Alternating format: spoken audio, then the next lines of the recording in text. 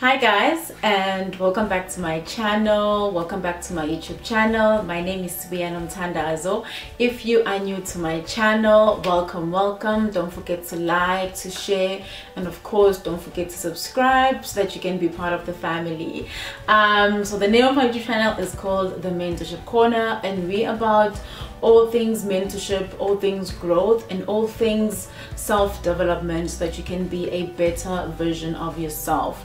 Um, for the month of July I have been running a self-love series where I have been tackling a few topics that sometimes we don't want to discuss just because of the way um, society has shaped those uh, topics or society has had like opinions and classified those kind of topics. So we discuss things like failure things like forgiving yourself things like learning to love yourself and basically finding your true definition of how you love yourself and basically um, finding who you are as a person and accepting that person for who they truly are and then taking them out to the world because obviously we are always there to share the love because as humans we are very social. So on today's episode on today's video on today's video i am going to be discussing the top 10 tips that will help you to love yourself and that will also help you to find yourself in this busy busy world of ours. Okay so i have made notes um, and these have guys can see it. These have all the 10 tips that you need to it's basically guys my opinion. Um, i stand to be corrected. Um, you could have a different opinion a different view. Um, you're more than welcome to share your opinion and view on the comment section down below. Um, remember the platform is there for all of us to learn and for all of us to grow. So obviously if you want to challenge my opinion you are more than welcome and you can leave your comments on the comment section down below. So i'm gonna get right into it.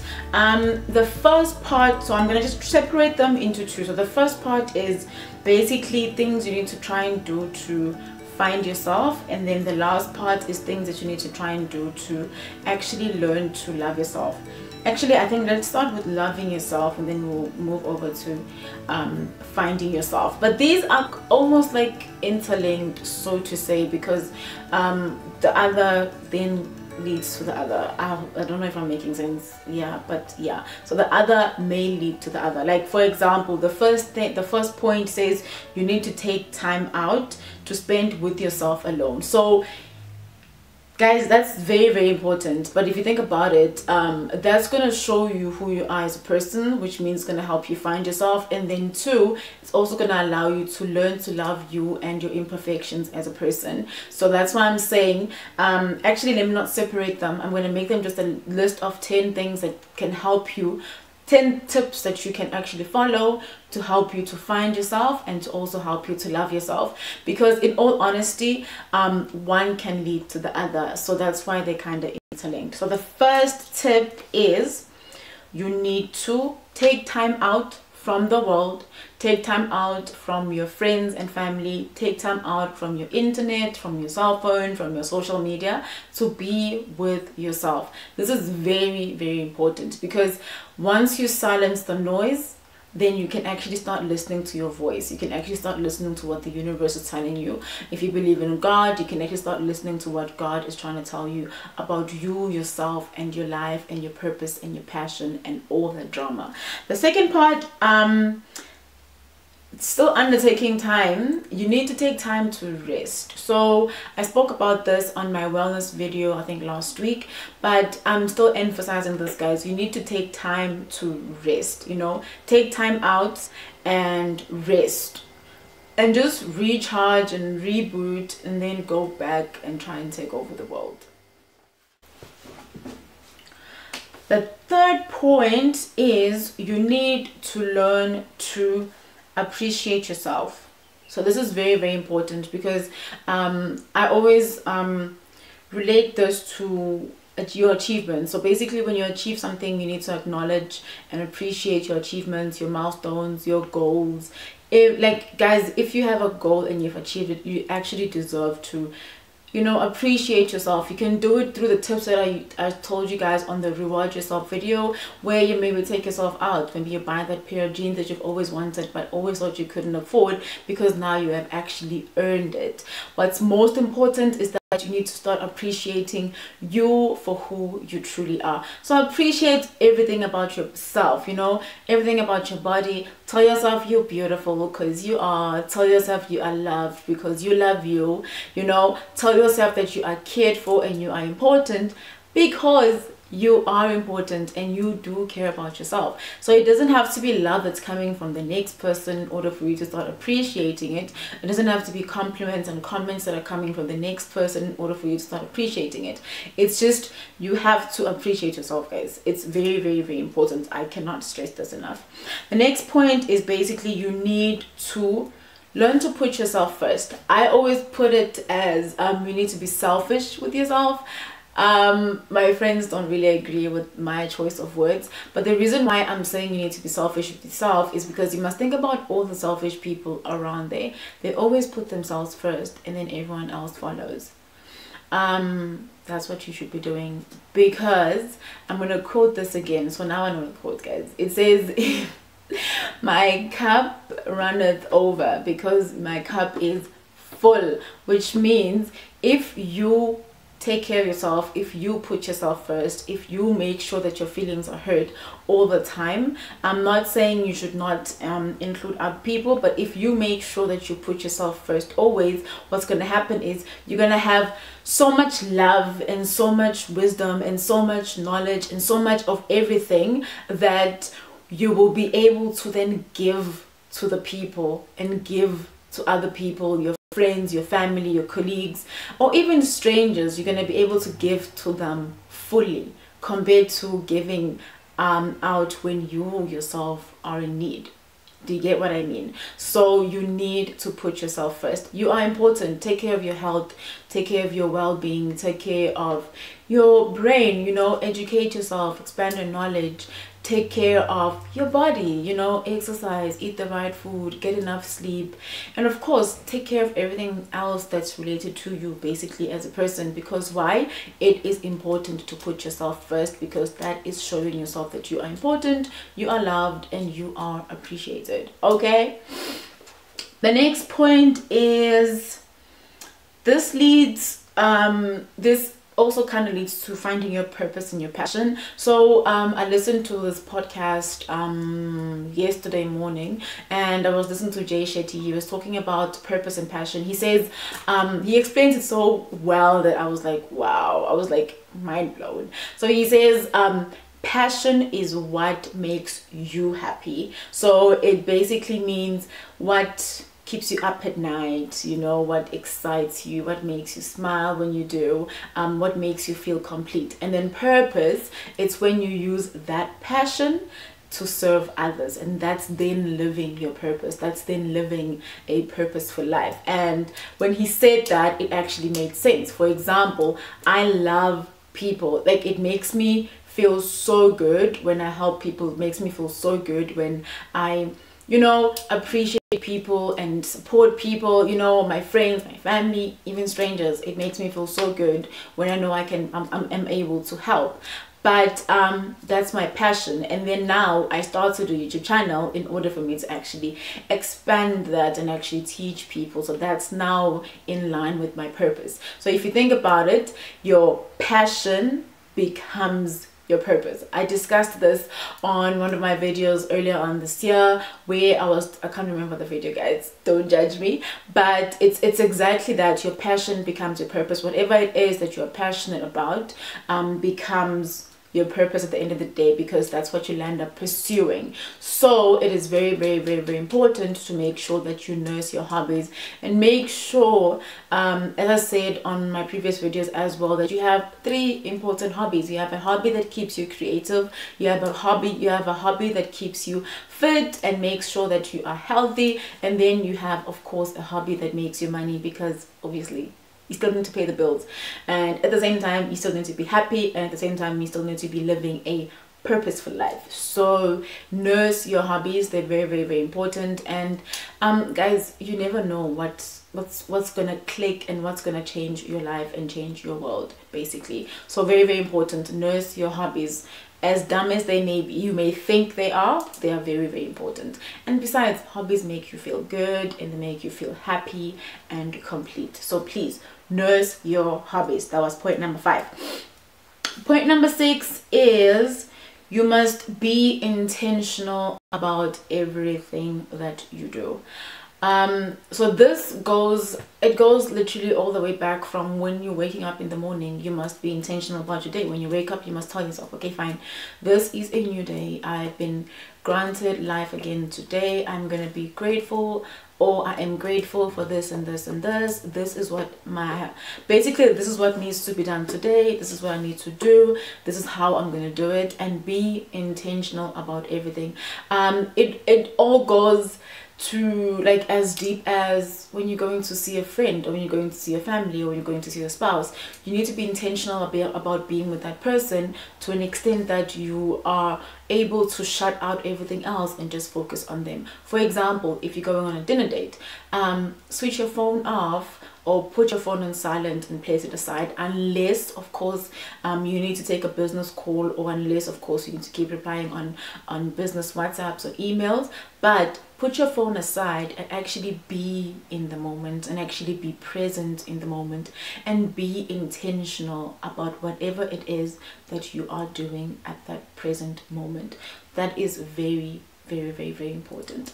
The next point is you need to journal guys. So you need to journal basically and write down your goals your vision and basically um journal what you think is your purpose in life? This is very very important because um dreams without goals are just dreams. And goals without action plans are just goals. So you're not going to get anywhere. I hope i'm making sense. So i'm going to repeat that again. Dreams without goals are just dreams. And goals without action plans are just goals which means you're not going to achieve anything. But if you have a dream have a goal set towards achieving that dream. And then once you've had a goal set make sure you start planning and putting your um goal your action plan basically so that you can achieve those goals. Ne? very very very important. And trust me you do not want to write it on your phone you do not want to write it on your ipad or your laptop or your tablet. You want to write it down because the power of your pen and paper it's amazing. It's amazing. Um, i remember when i wanted to start a youtube channel i wrote it down on my goal plans and it haunted me down until i actually did it. Literally it haunted me down until i actually did it. Um, there's another there's a very very amazing quote by um, oprah which um, says every word that follows i am will haunt you for life. So if you say i'm a failure i can't do this what what what that's what's going to follow you. But if you tell yourself i'm a go-getter i'm an achiever i am successful that's exactly what's going to follow you for the rest of your life. Because at the back of your brain you're gonna subconsciously keep playing those words and you're gonna land up just steering yourself towards that direction. So journal and write down your goals. So what i do is i have a goal plan for like each week where it's actually things that i need to do during the week and things that i must make sure that is done and achieved during that course of the week. I have a goal plan for the year and then i also have like short-term goals like like two to three years i have like medium term goals which is like five to six years and then i have long term goals. Um, and then um, what i started to do this year which actually made me to appreciate life even more i started journaling every single day from the beginning of the year. So i started journaling from the first of January till today. I miss some days. I'm not perfect. Some days I'm like super exhausted and I just want to get in the shower, eat and run to bed. But um, I have tried to journal every single day and I have noticed the difference that it's making to me and basically the difference it's making in my life as a person. I appreciate life more. Um, I'm more present. I'm more intentional and everything is a little bit more organized than before even though I'm an over planner naturally but everything is a little bit more organized now compared to before. So journal write down your goals and then write down your action plans so that you actually make sure that your goals are achieved okay? Next step is expand your knowledge guys. Expand your horizon. So this can be done um, by you either reading up on a topic that you've always wanted to study. You can do this by taking an online course doing your postgrad studies. It could be any or anything like any and everything basically. Um, so that's very very important because that allows that you are forever growing um, and your perspective is forever being transformed and you're becoming a better person and a better version of yourself. So do do that. Please expand your horizons.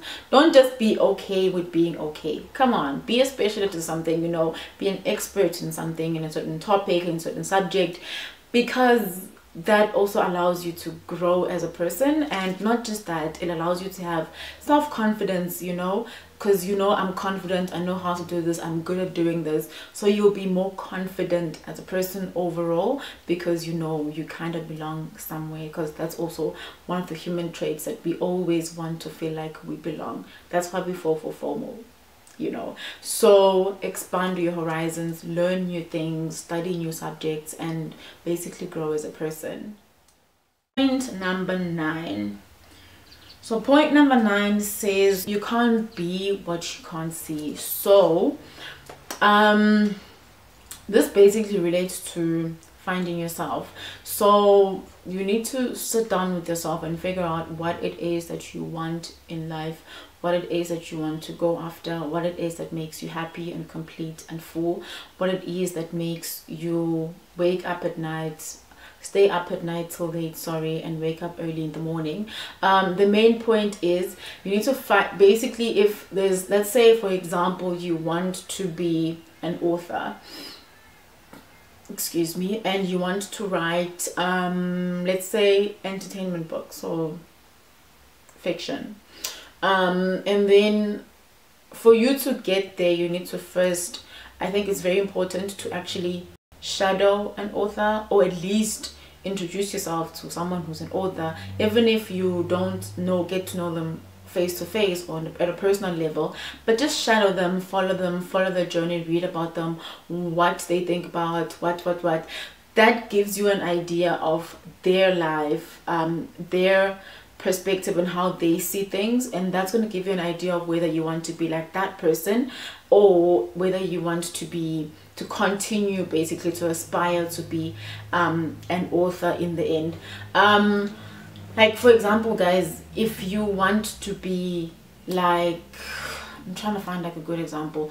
For example if you want to be like an A student in class this is like a typical example. Um, if you want to be like an A student in class you need to know how they think even if you won't necessarily learn to think like them but you need to know how they approach problems you need to know how they approach questions you need to know how they approach studying how they structure their study timetable how they structure the study plans because that's what makes them get the a right? We need to know how much hours do they sleep how much hours do they spend studying so that you know what's expected for you to get that specific result and then you'll know whether it's something you are willing to do it's a is it a journey you are willing to follow um if not then maybe you'll find another way to achieve it if it is then you know start following slowly in their footsteps um, because that's ultimately what will lead you to becoming an A student as well. It's the same thing with life. You need to find people who are more successful in the field that you're interested in. Um, learn how they got there, what's their story, what pushed them, and then find your way around there I hope I'm making sense. Yeah, find your way around there. And then the last and most important point is that um loving yourself and finding yourself is an is a process and it's a never ending process. Um be mainly because the world is forever changing um, technology is forever evolving. We are growing as people so we learn new things every once in a while. Basically every day we see new things every day. So obviously our perspective and our view um, it's it basically means where you were yesterday is not going to be in the same place as you're going to be the following day.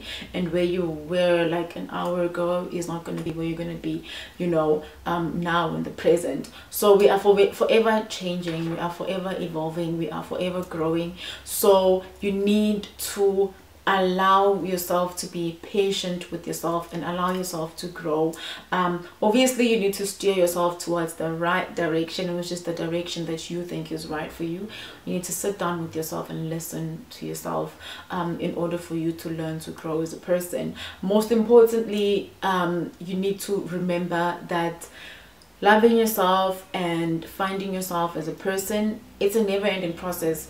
Um, because as i said before we are forever growing the world is forever changing.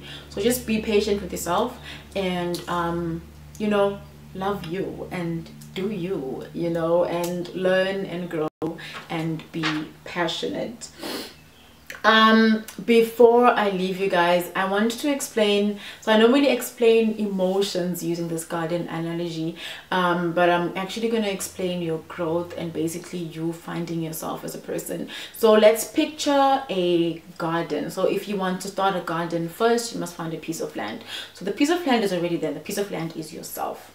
Let me drink water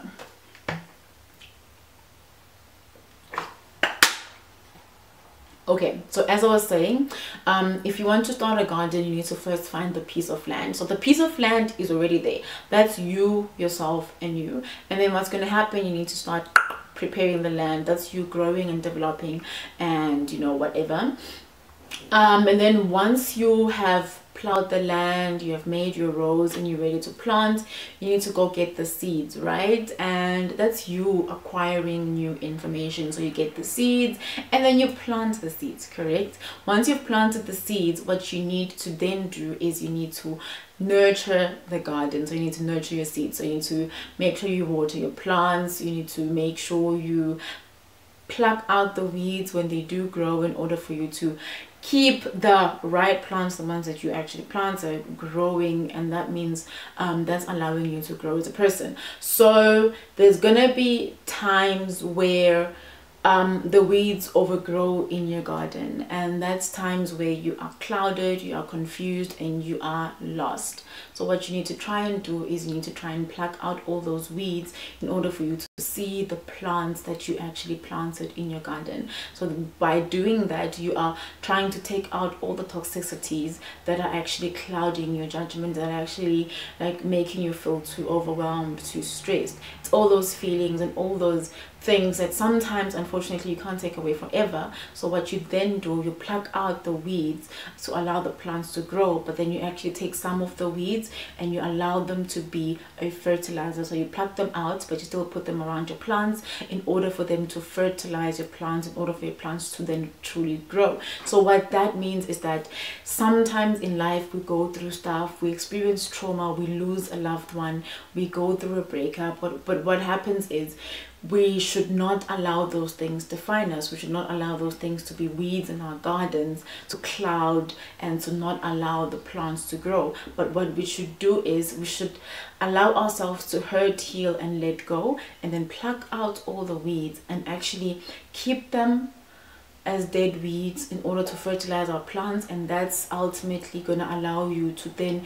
take all the lessons that you have learned in all your past negative and toxic experiences so that you can then take that information and the lessons that you learned there forward into your future and then basically it ultimately allows you to grow as a person and it ultimately allows you to grow and become a better person.